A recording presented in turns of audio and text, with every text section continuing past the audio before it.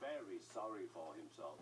Sometimes he could pull train, but sometimes he felt he had no strength at all. I suffer dreadfully, and no one cares. Rubbish, Henry, snorted James. You don't work hard enough.